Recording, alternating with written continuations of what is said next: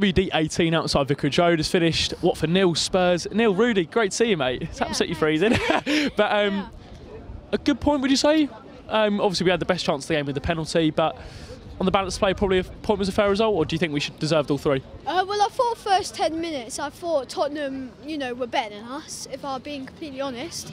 But after that, we just grew into the game and then, you know, we could have scored at times and we had chances in that match. You know, there was a Sarr one, Sarr one where he could have volleyed it.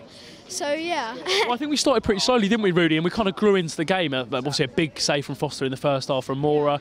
Um, who stood out for you today? Which players you thought caught, caught? I thought Capoue was brilliant in the first half. Masina, another good performance.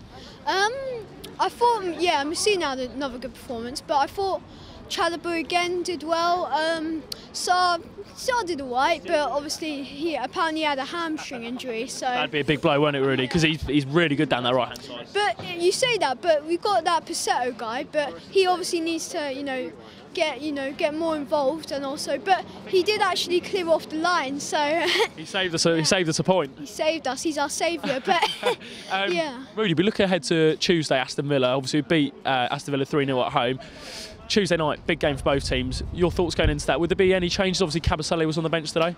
Yeah, I thought that's a massive game. So obviously, if Sarr, if that is a hamstring injury, then uh, I think we're going to have to play Pussetto. I think, but yeah, I'm I'm okay with that. But he just needs to get more involved, as I said. But we, I think unchanged again because Unchanged? Okay. because that was a team that beat uh, Aston Villa 3 0 at home. I know it was at home. I know Aston Villa are stronger at home. But we can still get a result there, definitely. Would you not consider putting Kabasele back in, Rudy, or do you think just keep it the same at the moment, don't change anything? Um, you know what? I would put yeah, I would put Kabasele in though, I guess, because Mariappa sometimes he did. There were times where he did give the ball away, but you know Mariappa has put in you know shifts these games, so you know I would be a bit ashamed to see him get dropped. So And yeah. it was just finally a busy week for Watford. Of course, Tuesday Villa, Thursday Tranmere. You'd imagine it'd be a quite a changed team. Um, is that what you? I mean, we look at to the weekend. It's a big week for Watford.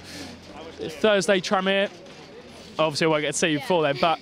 Would you just completely, completely just put the under 23s out, put the youth players out, or would you give an opportunity for players who aren't getting a lot of game time, as you mentioned, Pussetto, um, Pereyra potentially, or is it just? yeah. So what, what, what do you think about on Thursday against Tranmere? Um, I wouldn't play Chalobah and that like we did against uh, uh, the home match because you know it's Tranmere's pitch. You know it's a muddy pitch. You don't want to whisk them because Chalobah's our main midfielder, so we've got to keep him fit. But I'd start Quina, Quina, sorry, and uh, I'd start Pussetto and I'd start.